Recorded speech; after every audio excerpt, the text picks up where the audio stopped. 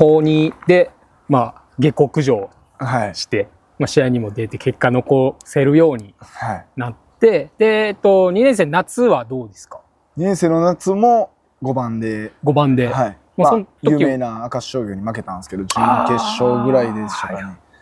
に先輩らの夏が終わって、あの、中森くんとか、いやの時じゃないですか。全然もっと上ですね。僕らの時えっとは、あの、山崎伊織とああ、か。はいはいはいはい。けどそれも僕ら2年なんで、3年生で投げてたはいなかったんですよ。あ僕らの学年の子が1個上で投げてたんですよ。。ああ、そう吉高っていう。はいはいはいはいはいはい。僕らの春の時は、吉高が投げて、ベスト4か8ぐらいまで甲子園で行ってたんですけど、はいはいはい。記憶あります。はい、もうその学年ですね。なるほどですね。で、僕らの1個上は滝にが甲子園に夏出たんですよね。ああ、なるほど。はい。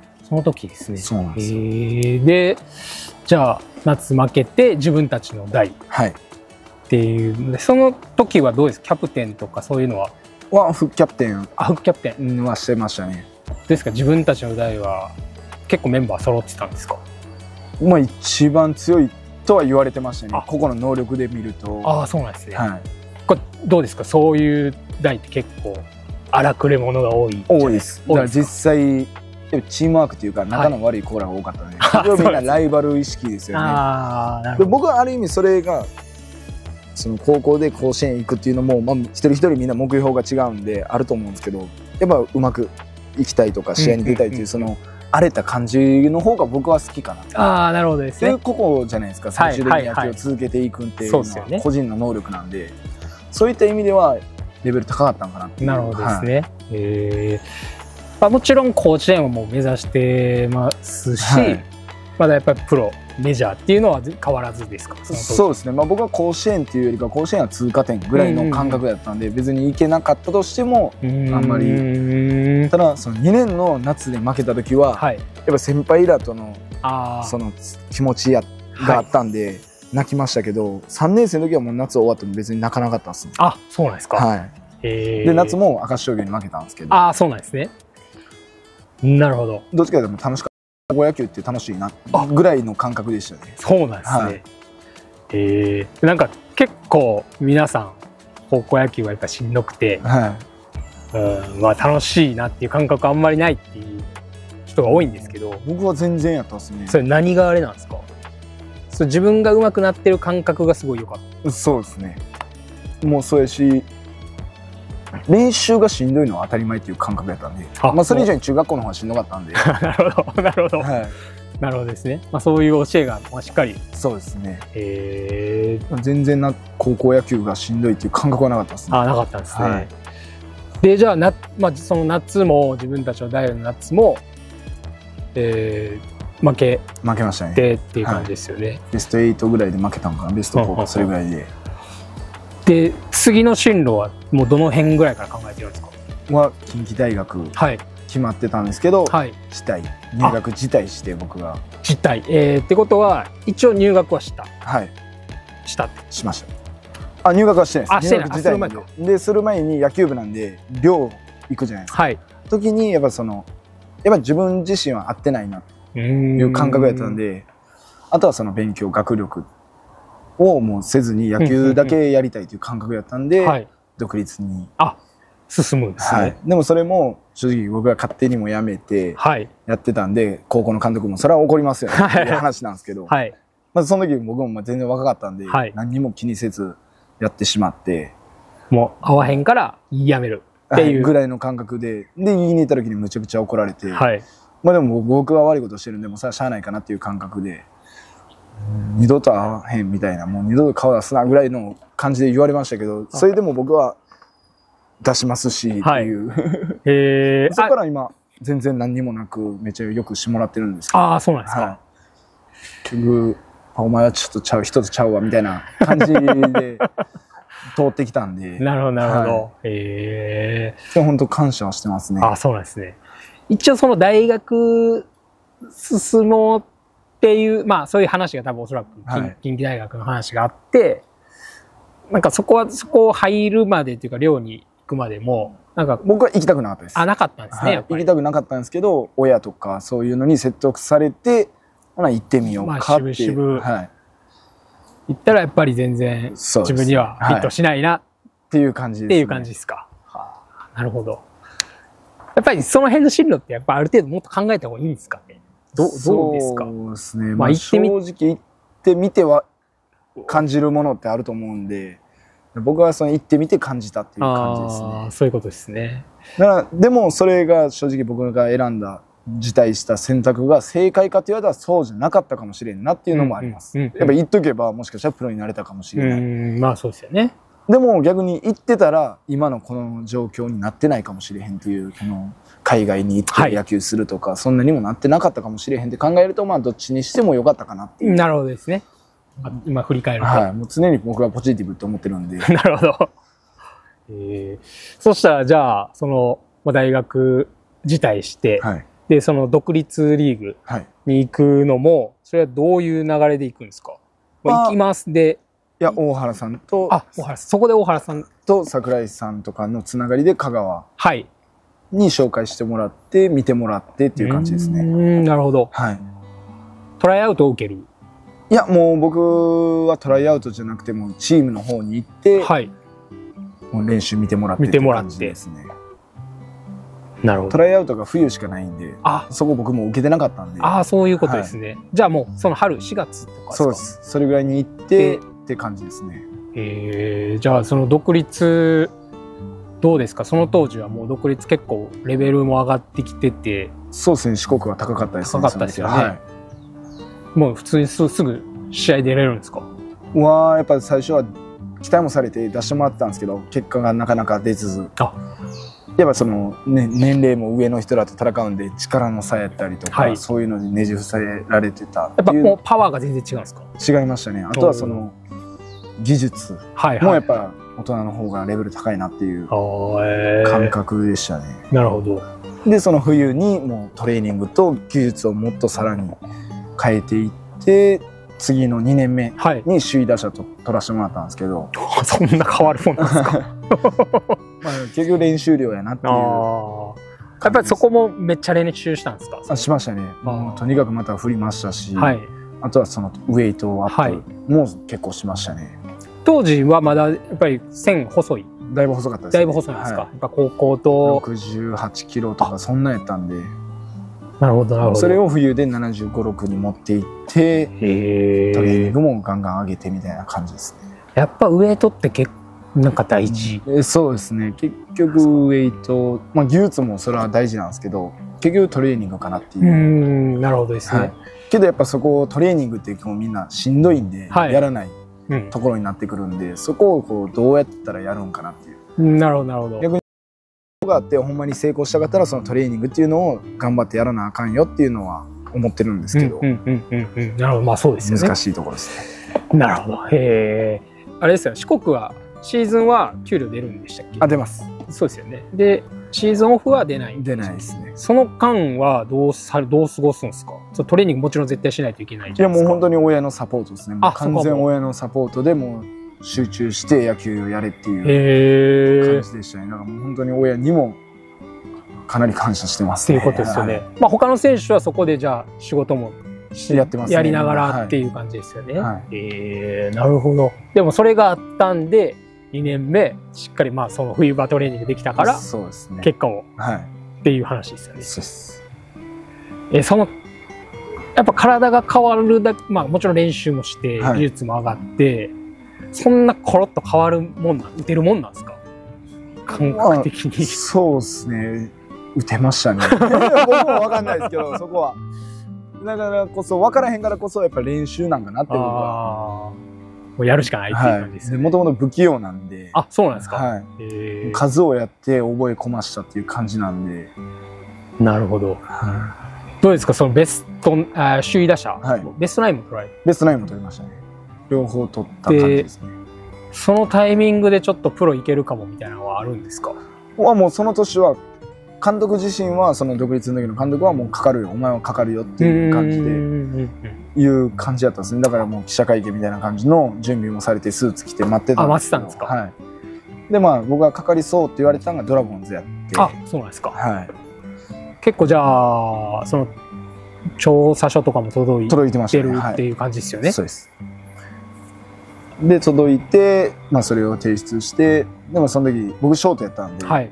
ドラゴンズの1位でネオ選手がかかったんですよね、い。なるほど。そこでまあドラフトってもうその場まあでいろいろ変わってくるのそう、そうですよね。はい。えー。まあ、そういうのもなかったかなっていう縁がなかったんかなっていう感じですね。ちょっとでも調査書届いたらもしかしたらいけるかなっていう自分の感覚はあったんですか？やっぱ結果も出てるし。はいありましたね。で勝負するできるっていう気持ちもあったんで、はい。どうですか？その、まあ、要は指名漏れはい。して、気持ち的には落ちるんですか？あ全然僕は落ちなかったですねあ、落ちなかったはい。そしたらもう来年来年もやればいいやろっていう。逆に言ったらそうやって調査書届いたりしたってことは、注目はされてるっていう感覚やったんで。はい。で、まあ毎年のように結局届いたんですけど、あ結局全部指名漏れで。えー、それは、えっ、と、ずっと中日から届くんですか？いや、もういろんなろんなところですね。あ、いろんなとこから。はい。結構いろんなところから届いたんですけど。うーん、それは、まあ、最終なんでそれはドラフトかからんなかったみたいな、なんかありますか？まあ、もちろんその、球団事情っていうのはあると思うんですけど、はい。自分の中で。ん今なんですかね。まあアメリカン的な感じなのかなああ、なるほど。っていう感じですね。今でこそそら、いろいろプロも変わってきてるんで、はいそういう選手も取ったりしてると思うんですけど。なるほど。え、もうその当時からそういうスタイルだったんですか？あそうですね。もう3年目に僕アメリカ行ったんで、うーん、なるほど。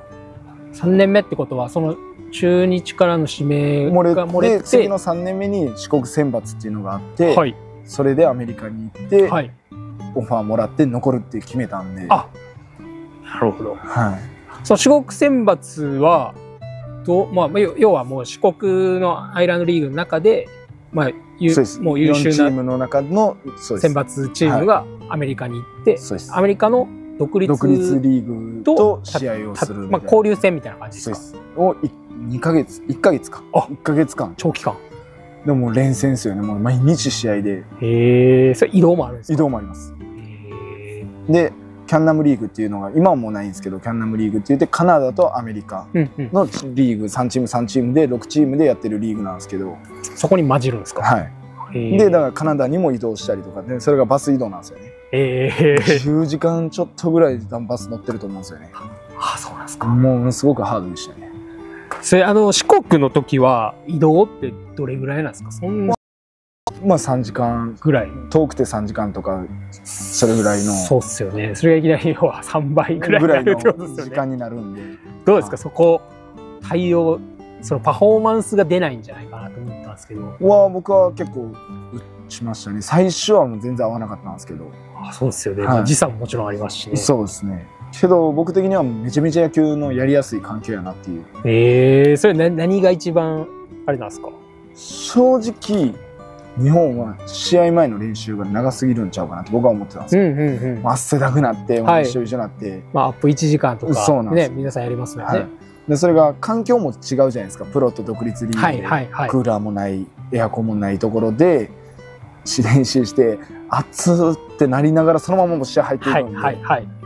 アメリカはどっちかというと練習時間もパーって短いし、うんうんうん。そのグラウンドで練習するっていうのもないんですよね、あんまり。あ、そうなんですか。はい。でもみんなゲージの中で、はいだから僕ら今これ後ろゲージなんですけど、はいはいはい。ゲージの中でティーしたりとか、前前から投げてきたボールをセンターに返すっていう、その、本当にこう、技術を上げるための練習をやってたんで。どうしてもやっぱグラウンドになるとガーンって打ちたくなる。はいはいはいはいは結局それが実戦でできるか言ったらそうじゃないんで、い。なるほど。ちゃんとした基礎があるから試合になってガーンいけるっていう、そこの感じ方は違いましたね。まあ結構やっぱりアメリカとかの、もう勝手なイメージですけど、はい。もう本当にホームランバーンって打って、もうそのまま上がって、はい。で、まあ言ったら豪快な感じの練習もそんな感じだと思うんですけど、実はめちゃくちゃ基礎やってるみたいな。そうです。めちゃくちゃ基礎ですね。もう基本的にはもうほぼ、まあ大谷選手がやってるように、大谷選手も外でバッティングってほぼしないんですよね。うんうんうん。それなんでかというと技術を上げるためとか、その試合の準備をするためには狭いところでやるっていうのが、なるほど。はどっちかというと一個一個こう確認作業みたいないそうです。試合前はもうそういう確認作業みたいな感じなんで、へえ。外でガーンホームラン打ったりとかしてる映像も正直そのお客さんに対してのまあプロなんで、はいはいはい。パフォーマンスの一つですね。なるほど。俺らはこんだけできるんやぞっていうパフォーマンスです、そその準備が裏にはめちゃくちゃあるっていう。はいえ、そこ実際どうでした？か初めて多分それを向こう行って見るわけじゃないですか。はい結構衝撃じゃないですか。まあ、衝撃でしたねその野手もノック受ける前にドリルをしてからみんな行くんではいはいはいはい。あちゃんとここまでやってるんやなってういう、ん、まあそうっすよね。はいそうっすよね。へえ。じゃあそれをまあでも一緒に同じような感じでややるんですか？やります。はドリルをずっとやりました。ね。で、やっぱりプレーも変わるんですか？変わりまししたねた。。守守備が上手くなったんかなっていう。あ、守備が。はその時も内野い。内野です。ですよねずっとショートでアメリカでも守ってたんですけど。やっぱり日本でなかなかやってなかったんで、逆シングルがなかなか使えなかったりとか、あ、そうなんです三ね。遊間の打球に対して、やっぱりどうしても体で入っはいはいてしまう癖があったんで、それがだいぶアメリカとか行くことによってなくなってきたかなっていう。えー、そうなんですね。はい。すごい。やっぱもう価値観ガラッと変わりますよね。そうですね。で、まあ今こういう仕事をしてるんで、その海外の子供らも見た時に海外の子供らもやらされてるんですよねそういう練習をあ、そうなんですね。日本でどっちかというとプロになってからそういう練習が入ってくるっていう感じなんですけどまあそうですよね。ていうえー、なるほど。じゃあそれをまあ今ずっと指導の中でも取り入れられてあそうですねやってるって感じですね。まあその当時の経験もそれが生きてるそうですっていうことですよね。はいだから試合で子供たちがミスしても何も言わないですチャレンジした失敗は僕は何も言わないよううんにしてる、うんうんうん。なるほど。はい、逆にこの練習してるのに試合になってガーって体入れてセーフにした時の方が伝えますねなるほどですね。結局止めてもセーフはセーフやではいはいはい、は抜い。けるんと一緒やからっていう話はしますね。なるほどですね。なるほど。えー、そしたらそのアメリカはその1ヶ月間は、まあ、はいその、えーっと四国選抜としていらっしゃるわけですよね。そうです。で、まあ、それは日本にみんな帰るけど、瀬能さんはそこに残る。っていう選択をはい。オファー来てるけどどうするっていう話をされて、それはオファー出してもいいんですね。その向こう、向こうのチームが。そうです。あの選手欲しいって言われて、僕が名前挙げてもらったんですけど、どうするって言われて、まあちょっと球団と話。話しますっていうはい。感じになって、まあ連絡して、まあその時も多少ちょっと怒られましたけど、そのプロ注目やのにアメリカでプロ消えるかもしれんぞっていうことを言われたんですけど、僕はもう正直、あもう消えてもいいです。あ。っていう感覚やったんで、えー、そそれはなんで、あれなんですか？まあ、アメリカの方がやっぱ勝勝ったんですか？そうですね、あもう環境やったりとか、その楽しさ、野球のまずそもそもの楽しさが違うっていうのと、これからの、もし日本に戻ってプロになれなかった時と、こう、なれんかったことを考えたら、うん。向こうでやって、向こうの野球っていうのを覚えた方が、将来的に仕事にしても何にしても、生生きてくるんじゃないかなって僕は思ったんで、ちょちょっと先の話も、ことも考えてました。はい。えー。なるほど。で、実際残る。残ることになったってね。どうですか？残って、まあ言ったら一人ではい。言葉もわかるんですか？そうです。分かんなかったですね。わかんないですよね。はい。基本英語ですか？スペイン語も。もう英語もスペイン語も飛び交っまず飛び交ってる感じですね。それどうやって勉強するんですか？まあなんとなくはやっぱ聞き取りもずーっと喋ってると聞き取りの方はなんとなくあこういうこと言うてんねやなっていうのも、まあ、向こうも日本人やって分かってるんで、はい。ちょっとこう単語であ、わかりやすい。はい英語で話してくれたりもするんでそこで少しずつ覚えていったという感じですね。その指導もされるんですよね。はいその向こうの監督、こうコーチとかはいがこう教えてもらうこともわかるんですか？もうジェスチャーとあれでなんとなくっていう感じですね。けどその2年目の僕が首位打者取った時も外人の選手がいたんであチームメイトにー。そうなんですね。でもうほぼずっと同じように僕外人が好きやったんで、はいその生活していろいろ学びたくてやってたんである程度その英語っていうのはずーっと聞いてきてたんで、なるほど。なんとなくはできてたかなわかるはい、感じですね。へそれ以外になったら分からんすけど 野球のことやったら全然ー なるほど、なるほど。分かるかなっていうなるほど。それ実際どうなんですか？その、まあ、き給料というか、はいその辺ももちろんもらえるとは思うんですけど、はい生活できるレベルなんですか？向こうの独い立とかで。やもう本当に周りのサポートですねあ、それもそうなんですか？はい、もうホームステイ先の日本人の人らがものすごくサポートしてくれて本当にいいところで、へえ、ホームステイなんですねホ。ームステイですね。いい出会いでできたかなっていう。へえ、どれぐらいいるんですか、そこのアメリカには？は、シーズン終わるまでいたんで、あ、じゃ半あ、年半年ぐらいですね。その時も結果は結構出る感じですか、アメリカでも？は、最高打率が3割9分。うわ、すご3い。割9分6厘ぐらいまでいってたんですかね。最終的には、ちょっと肉離れしてしまって、地面が硬くてあ、それまで肉離れなんかしたことなかったんですけど、あとは11連戦とか普通にあって、はいはいもう、でももう、ね、海外の世界で結果残らんと切られる世界なんで、もうすぐに切られるんで、うん必死にとにかくやってたらちょっと怪我してしまって、へで、最後ちょっと調子悪くなって、最後3割2分とか3割3あで分、でも3割は打ってましたね。ごいっすね。でもずっと一番バッターで打たせてもらってっていうへ感じえ。で。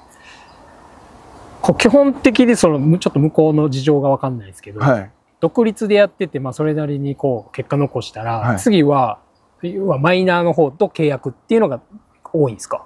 する選手もいますね。で、実際僕もスカウト陣が来てくれてはいたんで、あ、そうなんですか。はへえ。いきなりメジャーとかはないんですか？い。うん、はないですね、さすがに。ああれで、その、ある程度でも、外国人の選手は結構あります、やっぱり。あ、あるんですか？元マイナーの選手ばっかりなんで。はいはいはいはい言うても、僕みたいにプロ目指してやるっていうよりかは、僕が行ってたリーグは、もともとトリプル A でやってましたとか、ダブル A でやってました。っ。ていう、こう一回こう、その MLB の組織に入った人らが多かったんで、なるほど。うん、本当にレベルは高かったですね。そうですよね。はい。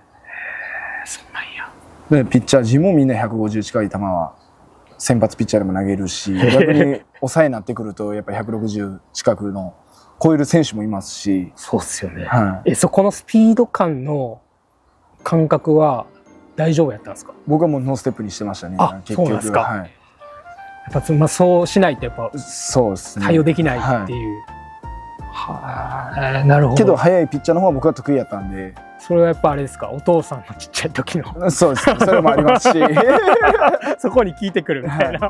それもありますし、結局その、日本と海外の、まあ、考え方ですよ。そもそもの考え方が違うというのは、絞りやすさは海外の方が絞りやすかったんですよ。まっす。ぐが多いんで、とにかくガンガンガンガンまっすぐ押してくるんで。あ、そうなんですね。あとは多分こんな僕みたいなちっちゃいやつに、こんなもん変化球ないはいはいはい投げとるかみたいな感じで多分来てたと思うんで。なるほど。まあそこの速さだけちょっとあちゃんとアジャストできれば。ねはい。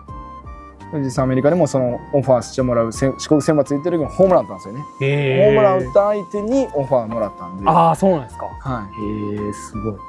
そういうのはありますね。まっすぐに対しては得意や得意はい。じゃあその、え、で、その、えーシーズンはアメリカで終わりそうですね。ですよね。はい。で、そこから日本に帰るんですか？日本に帰って、はい。また香川の方でプレーしてっていう感じです。なるほど。でまあ調査書届いてまた待ったんですけど全然かからなくて初め漏れしてまた4年目どうしようっていう時に海外チャレンジしようと思って海外行ったんですよそれはアメリカですか？アメリカにアメリカにはいまた行ってでそのいろいろトライアウトとか、はい。テストみたいなのをしてる時にえーレッドソックスとか。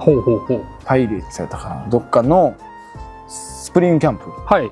に招待してもらえるけど行くかって言われて行きますって言ったんですけどコロナがあ始まったんですよねここで。あ、そうなんですね。はい、でもう強制送還まあ帰らない国帰国しないといけないってなってもう日本に帰ってきてっていう感じっていう感じなんですね。はいでまた1年香川でやってその時も3割ちょっと打ったのかな？でその時はもうアメリカに行くまでそのコロナがどんだけかかると思ってなかった。はいはいはい行くまでのあれでちょっと試合感覚も作りたいからチームのために何でもやりますみたいな感じでやってたんで。なるほど、なるほど。でそのとその年結局シーズン終わるまでいたんで、うんうんうんうん。8ポジション守ったんですよね、あ、そうなんですか。はい、ファーストセカンドサードショートキャッチャー外野全部守ったんで。じゃあピッチャー以外ピッチャー以外全部守ってっていう感じでしたね まあでも昔からでもいろんなとこやってるんで、そうなんですよねできるんですね、はいユーティリティに。だから独立もキャッチャーしてへえ。10試合ぐらい座ったんですかね。ああ、そうなんですか。はい。